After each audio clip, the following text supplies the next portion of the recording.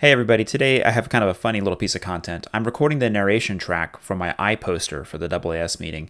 Um, I've never done this before, so I'm doing a few takes.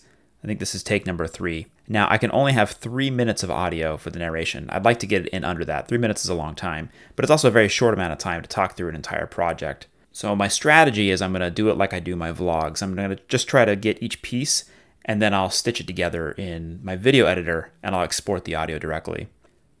Hello, my name is James Davenport, and in this iPoster I'm presenting the rise and the fall of HS Hydra. HS Hydra is an eclipsing binary, and in 2012 Zasche and Paschke discovered that it was an evolving eclipsing binary, that the eclipse depths were changing over time, probably due to a third star in the system, causing the system to precess and tidally evolve.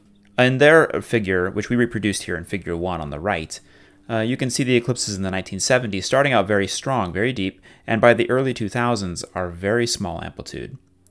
We went back into photographic plate archives out of the DASCH project from Harvard, and we were able to recover the onset of the eclipses in the beginning of the 20th century.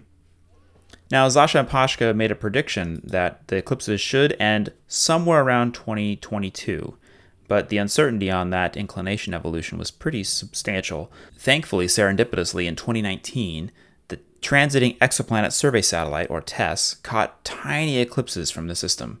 You can see in Figure 2 the TESS light curve from Sector 9 for HS Hydra shows pretty small amplitude eclipses. This is something comparable to an exoplanet transit. And this is exactly what's expected based on the discovery in 2012 that as the system evolves in inclination, it should reach a state of being just a grazing eclipse, and that's where we are in 2019. In figure 3, you can see the so-called rise and fall of HS Hydra, the eclipse depths getting bigger and then smaller. The system peaks as an eclipsing binary somewhere in about 1959. And what I love about this figure is that it traces the entire evolution of modern astronomy, from photographic plates reaching back to 1893 in the earliest bin, all the way up to space-based photometry in 2019. Our inclination evolution model, shown in figure 4, predicts that the eclipses should end in about February of 2021, or in about a month from now. But the system has already reached the TESS noise floor, meaning that the eclipses have reached such a small amplitude that TESS can't detect them against the noise background.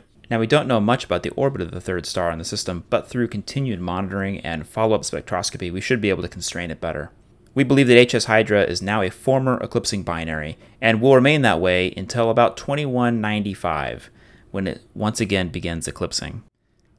Thanks for taking the time to look and listen to our iPoster. This work is currently submitted to the AAS journals, and if you'd like to discuss it further, please reach out on Twitter or Slack or email.